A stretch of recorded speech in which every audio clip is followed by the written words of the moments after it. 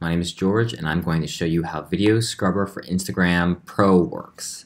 This is a Chrome extension that gives you some awesome features for Instagram video consumption and also just Instagram consumption from Chrome on your desktop computer in general.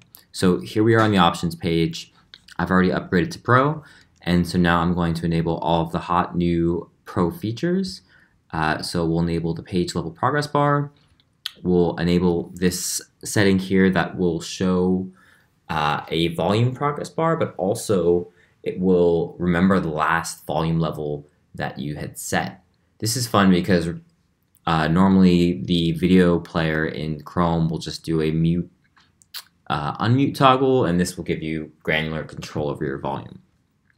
Also, we'll enable keyboard shortcuts, which allow us to toggle playback with the spacebar, go back for go back five seconds and forward five seconds uh, with a few keys, increase and decrease the volume with minus and plus, and then also change the playback rates with your number keys. We'll enable uh, this influencer display mode, which will do assorted ranking of comments on a post. Uh, and then also, if you're like me and you do a lot of marketing to Instagram influencers, we'll enable this email button, which will allow us to create little mail merge emails for Instagram profiles. So once I save, let's show you the basic um, functionality. So here we are on a video. Because I have this influencers feature enabled, this button here uh, shows up. But if I hit the spacebar, I can start playing and I'll hit it again to stop. At the top, we can see the salmon progress bar, which shows that we're making progress through this video. What's exciting though is that uh, I can use the A and the S key to jump forward and back. So here I'll do that. So me jumping forward and back. And now I'll hit the number keys to change the playback rate. So say we want to see something in slow motion. Uh, I can press 1 to view this video at 0.25x. And you'll notice in the bottom right here that the playback rate shows up.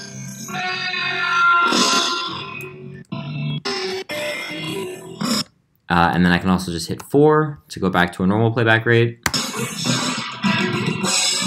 And say when I hear this louder, I can hit the plus, plus sign to increase the volume. Uh, and I can hit the minus sign to decrease the volume. And now it's effectively muted. Uh, and I'll pause it. And that covers most of the keyboard shortcuts. Um, so that previous video didn't really have any comments, but this is a House of Highlights video that has tons of comments. And what's great is when you have this view influencers mode, the extension will load all the comments and it'll attempt to rank them by who by which commenters have the most followers. So as it's fetching profiles and looking at their uh, follower accounts, you'll start to see a sorted ranking of the people that have commented on this video and how many followers they have. So Damien Live here has 23.5k, this is the most influential person that's commented on this video. Samantha here. Um, I'm not sure what she's talking about, but she has 7,000 followers. And uh, yeah, this will continue to change as the extension fetches more and more profiles and as the sort of leaderboard of commenters changes. Okay, thanks for listening.